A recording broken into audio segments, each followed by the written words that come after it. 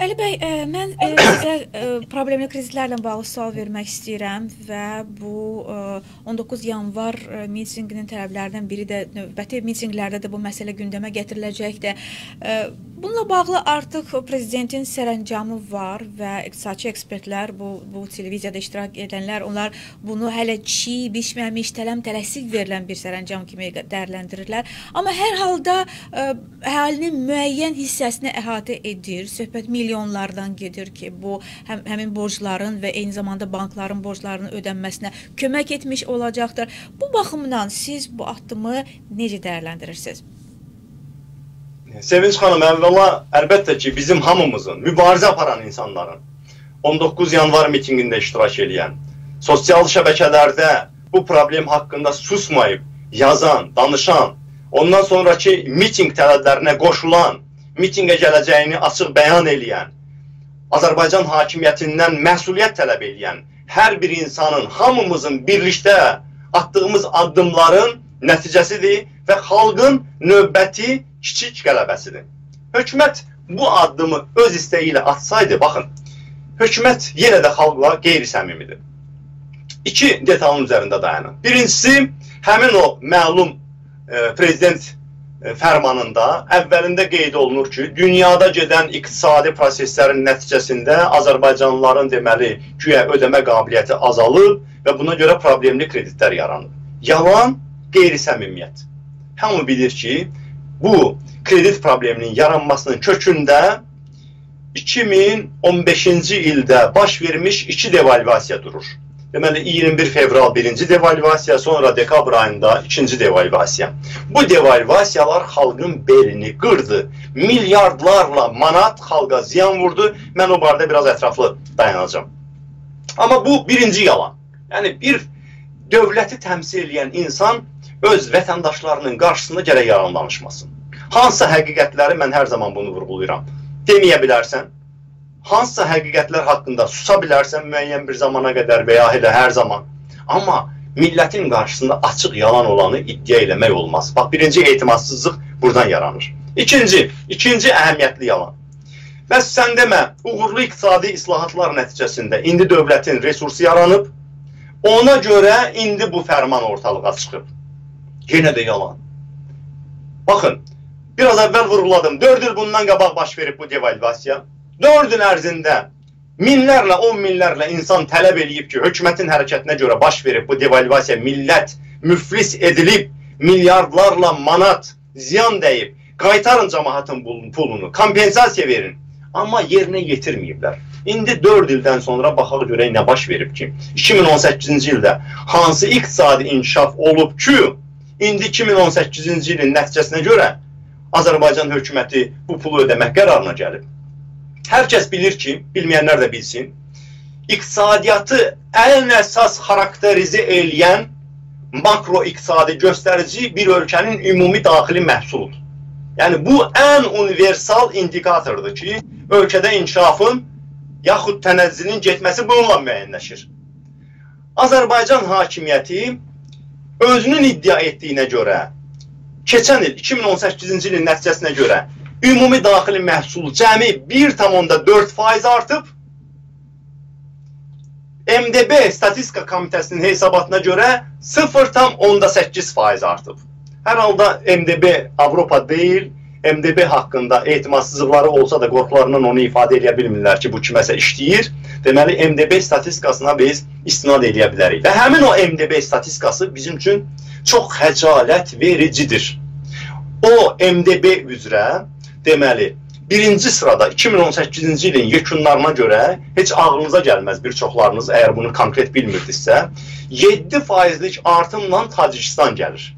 Ondan sonraki yerləri Türkmənistan, Özbəkistan və Ermənistan 6 faizlə bölüşür. Aydındırmı, əziz həmvətənlər? Biz o sırada ən axırıncıyıq. Axırdan əvvəl yox ha. Ən axırıncıyıq o sırada. Belə olan halda nə baş verib ki, hansı iqtisadi inkişaf olub ki, Azərbaycan həmin o iqtisadi inkişafın nəticəsində milyardlarla pulu yaranıb ki, indi bütün bu sərəncamların, fərmanların qiyməti artıq ümumi e, milyardı keçib. İndi daha dəqiq yəqin ki, bu son e, problemli kreditlərlə bağlı fərmandan sonra bilinəcək ki, nə qədər pul xərclənəcək. Amma istənilən halda milyarda artıq keçib. Sadəcə son bir ayda verilmiş prezident sərəncam və fərmanlarından əlavə büdcəyə gələcək yük 1 milyardı keçib. Hardan yaranmışdı ki bu mənbələr? 2018-ci ildə nə vaxt olub elə bir inkişaf ki, bizim xəbərimiz olmayıb? Niyə bu inkişaf statistikadan gizlədilib? Niyə heç yerdə bunun sübutları yoxdur? Bu da ikinci yalan. Ona görə də ən əsas məsələ bax bütün bu islahat adı ilə xalqa təqdim olunan tədbirlər ona görə effektsiz olur ki, birinci səbəb budur ki, qeyri-səmimiyyət var. Bu işin arxasında yalan var. Xalq açıq danışmaq lazımdır.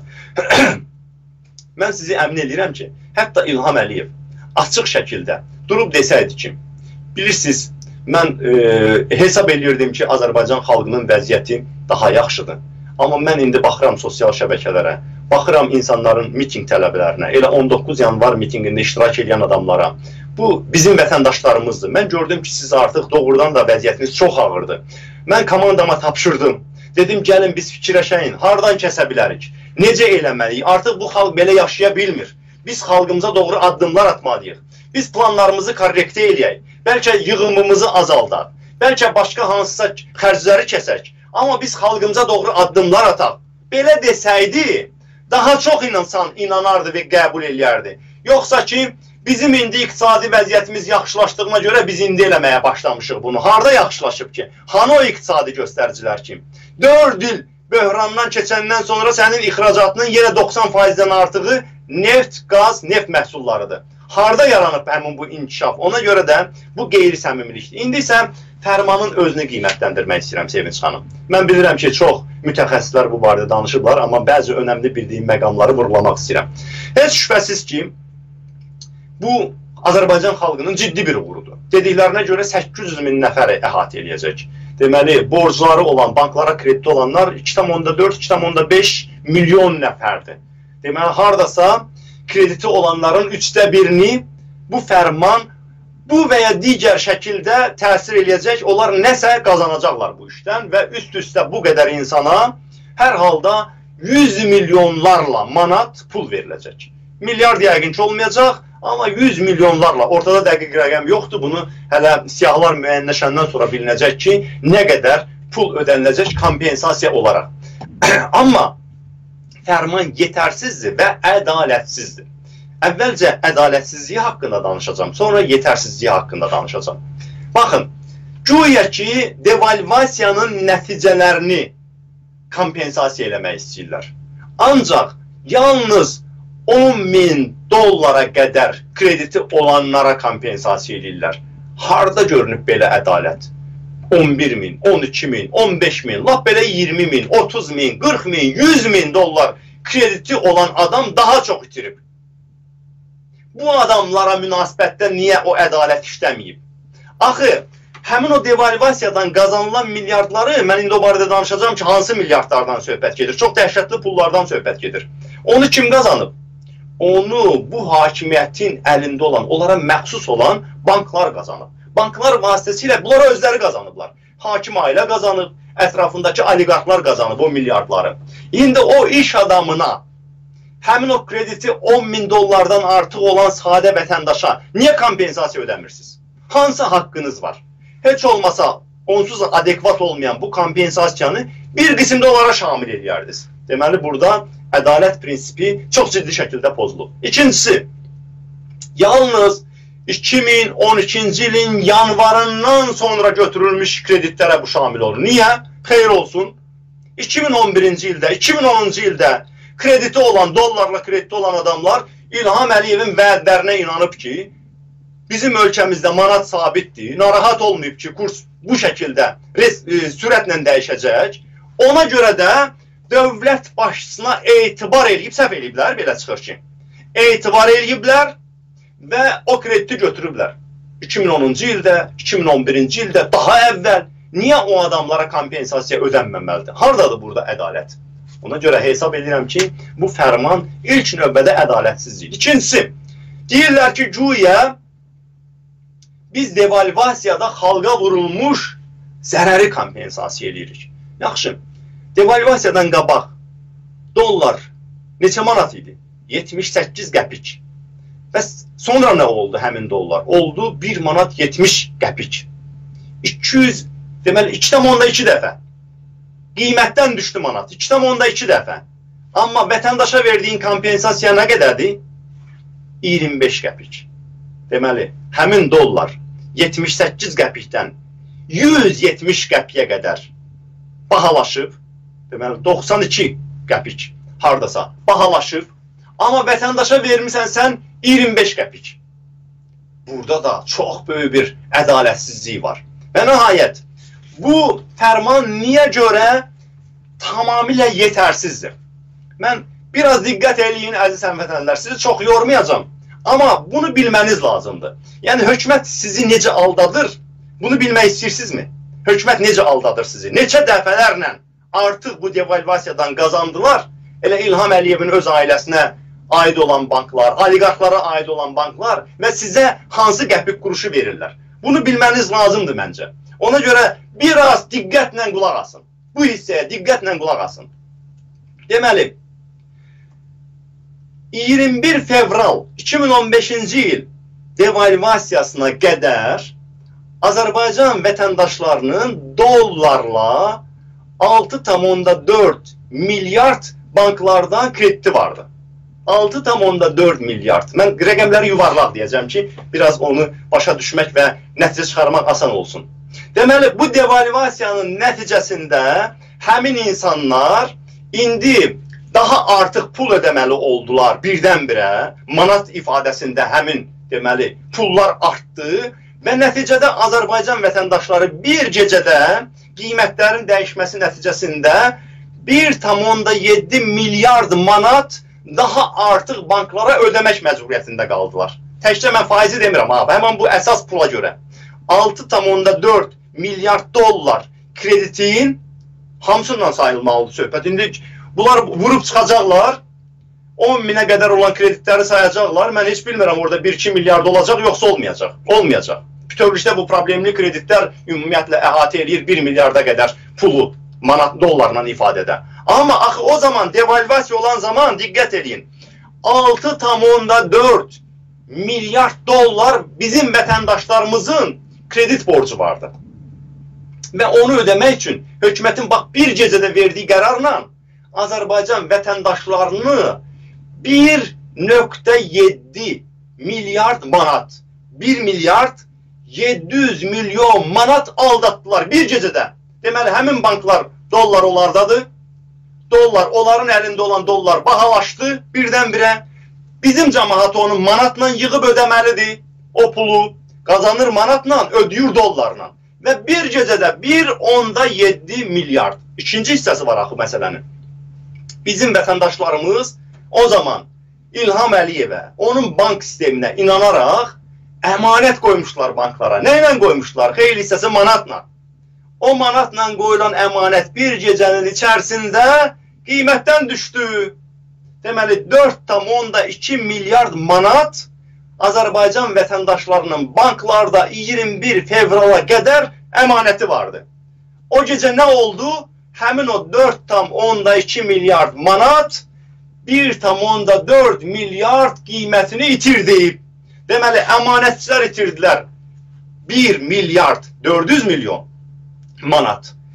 Krediti olanlar itirdilər bir gecədə 1 milyard 700 milyon manat. Nəticədə nə oldu? Birinci devalvasiyadan Azərbaycan xalqı 3 milyard 100 milyon manat bir gecədə itirdi. Bəs kim qazandı? Bunlar qazandılar. Yadınızda saxlayın. Birinci devalvasiyanın qiyməti oldu 3 milyard 100 milyon. Mən o qiymətlərin artması, Azərbaycan vətəndaşlarına verilən əmək haqqının sürətlə qiymətdən düşməsi, real dəyərini itirməsi kimi mən böyük söhbətlərə hələ girmirəm. O sizi yorar.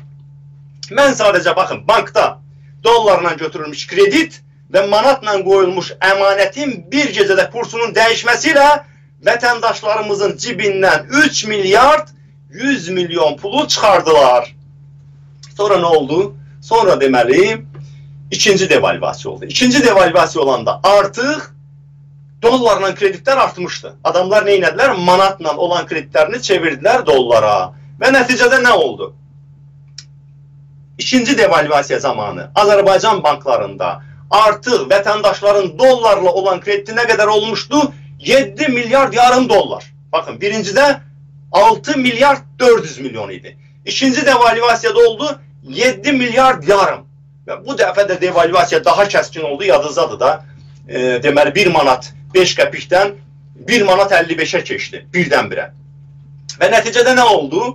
Həmin 7 milyard 500 milyon dollara görə Azərbaycan vətəndaşları 3 milyard 400 milyon manat bir gecədə ziyana düşdülər. O kreditə görə 3 milyard 700 milyon manat.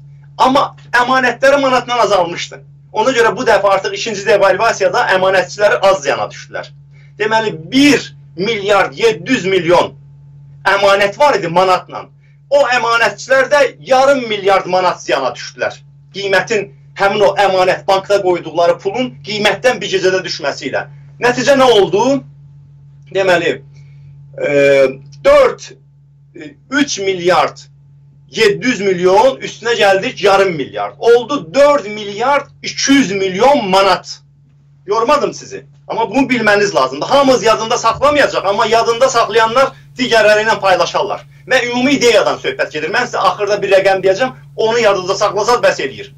Beləliklə, birinci devalvasiyada dollarla krediti olanlar və manatla əmanəti olanlar bir gecədə 3 milyard 100 milyon manat, İkinci devalvasiyada isə bir yerdə hamısı dollarla kredit olanlar və əmanətçilər ayrı-ayrı rəqəmlərlə yormayım sizi 4 milyard 200 milyon manat ziyana düşdü. Beləliklə iki devalvasiyada xalqdan nə qədər pul oğurlandı? 3 milyard 100 milyon üstünə gəlirik 4 milyard 200 milyon. Nə qədər oldu? 7 milyard 300 milyon. Əziz həmvətənlər, aydın oldu mu? Aydın oldu mu sizə nə qədər pul bunlar ziyanı vurdular. Ancaq o iki qərarla 7 milyard 300 milyon ancaq bu iki devalvasiya nəticəsində dollarla krediti olanlar və manatla əmanəti olanların məruz qaldığı zərərdir. Bəs o fərqi kim olandan qazandı? Kimlər qazandı bu prosesdən? Yenə də həmin o bankların sahibləri. O bankların sahibləri kimlərdir? Hakim ailə, oliqarxlar, nazirlər və s. Aydın oldu mu?